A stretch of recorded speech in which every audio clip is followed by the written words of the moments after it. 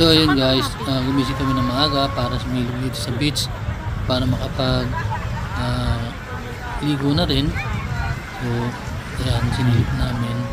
Medyo marami na rin, marami-rami ng tao at sa ngayon ay kami uh, magkahanap ng pwesto namin kung saan uh, magtatampisaw din kami sa tubig. Ayan, punta na tayo sa labing ng dagat. Napakalinaw ng tubig. Puting-puti ang mga buhangin. Palastik, parang parang kang nasa wow, wow na wow.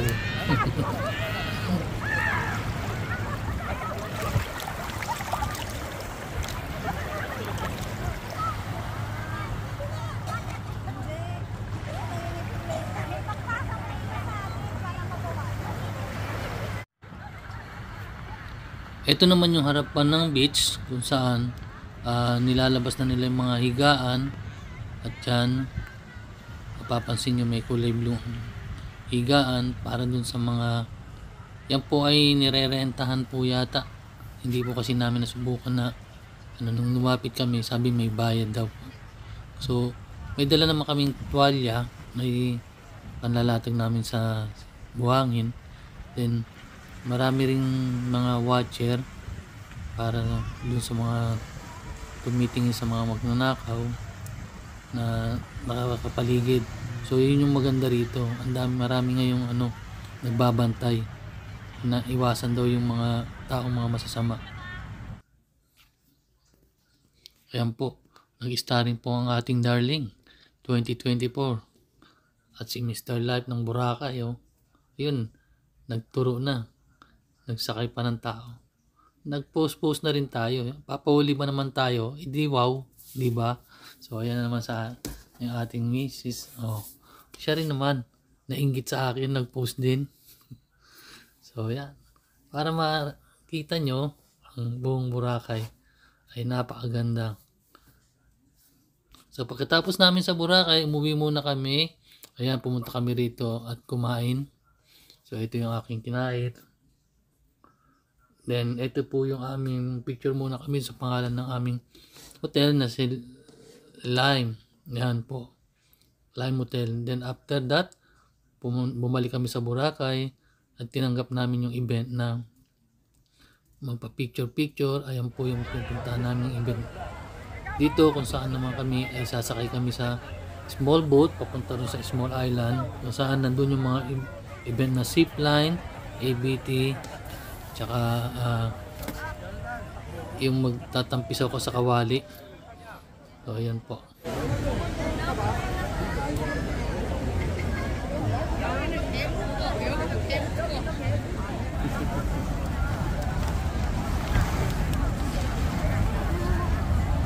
Mag-ano muna ako sa tubig?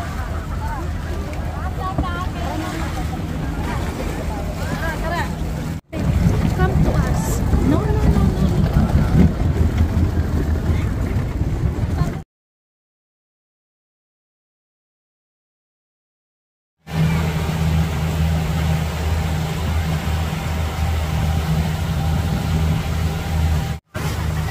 So medyo malakas ang hangin dito. Kaya kinailangan kong hawakan yung ating sombrero baka ito ngayon.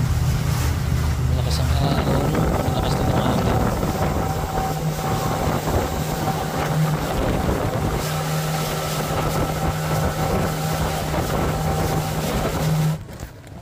So pagkatapos namin sumakay ng bangka, ayan tumawid na naman kami ulit sa maliit na tulay.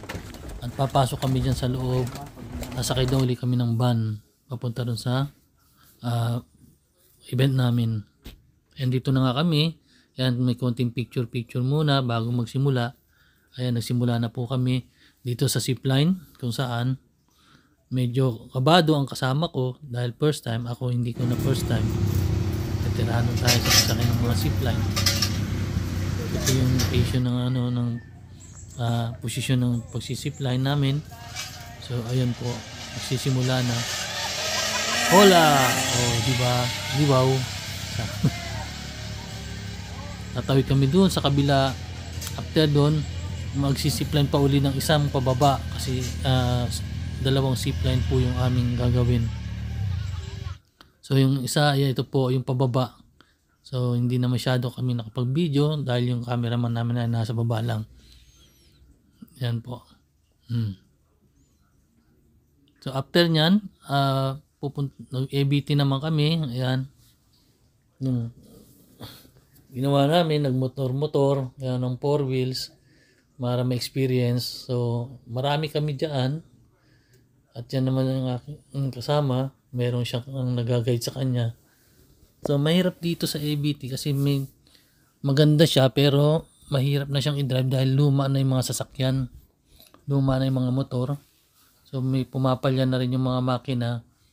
Yung aking nahawakan ay sobrang taas ng minor. Pag binaba mo, patay ang makina. Pag tinaas mo, nag, ano, nagwawild yung makina niya. Buti na lang marunong tayo magmotor. Kaya nakokontrol ko.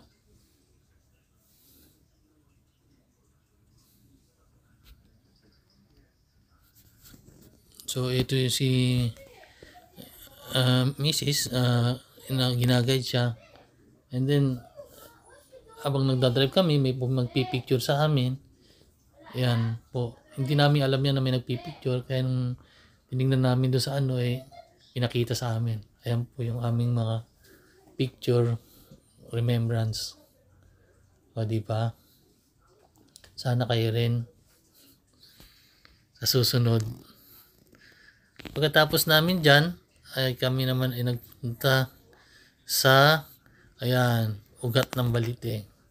Diyan naman kami nagpunta sa ugat ng balite kung saan nagpa-picture din. Kon- Picture picture, ayan may konting video. Pinakamalaking balite na ugat. Oh, meron pa tayong tinatawag na human drone shot. Ayan no. Mm, di ba? Ayos. sinubukan ko na rin akitin yung puno, yung mga ugat. Bago ko marating yung dulo, tingnan nyo, napakaliit ko na. Ganyan ako kali, kanyang kalaki po yung puno, almost uh, 20 to 30 feet bago maakyat yung taas. So ito naman yung uh, yung sa loob ng island. Pero silang la- running water kung saan maliligo kami rin dyan. After na maligo dyan, dito kami sa pupunta sa Kawali magsisimi kami mamaya doon yung habang niluluto ba? Yan, running water po yan. Hindi po siya salt water so napakalinaw din at napakaganda. Meron din po siyang ah, sliding. Yan po.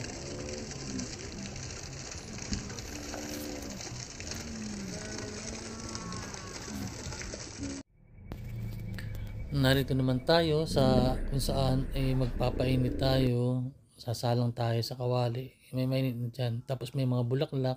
Tapos uupo po tayo roon at sisindihan yung ilalim. I-boboil tayo. Alagain tayo. Kaya na po. Hmm.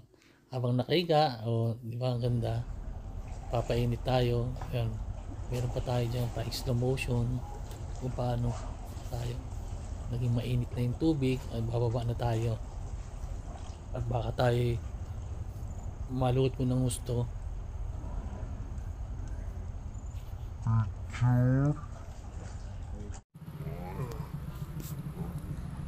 Hindi pa tayo nakontento bumalik uli ako. Ayan po bumalik uli ako. Tapos ayan tatayo na uli. Bababa